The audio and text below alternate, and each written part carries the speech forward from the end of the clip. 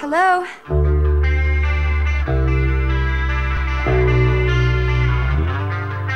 From the cradle bars comes a beckoning voice, a spinning.